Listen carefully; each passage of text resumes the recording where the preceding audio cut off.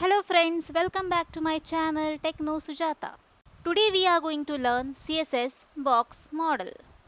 This question is asked in every interview if you are giving interview for a UI or front-end developer. So please watch the video till end. You will get a better idea of what is CSS box model. CSS box model is a container that contains multiple properties. It wraps around every HTML element in web page. So let's check each and every properties of box model. CSS box model contains margin, border, padding and content. Let's see every properties of box model in detail.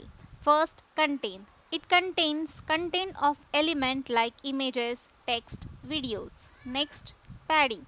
It extends content area to include padding. So it added around content. Next, border.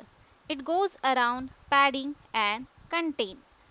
Next, margin. It include empty area around border to separate element from neighbor elements. If you inspect any element on browser, you can see the box model for that HTML element. Here you can see this box model contains size, padding, border and margin.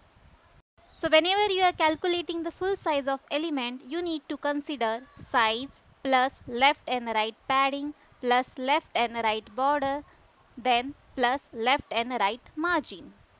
Let's see the simple example of box model CSS.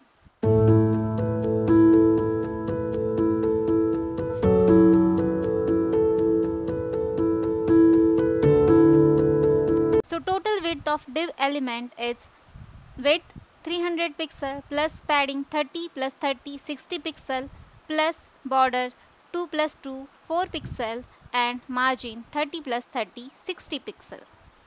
With this, let's wrap up the video for now. If you like my video, please click on the like button. Don't forget to subscribe and share with your friends and families. Till then, keep learning. Bye-bye.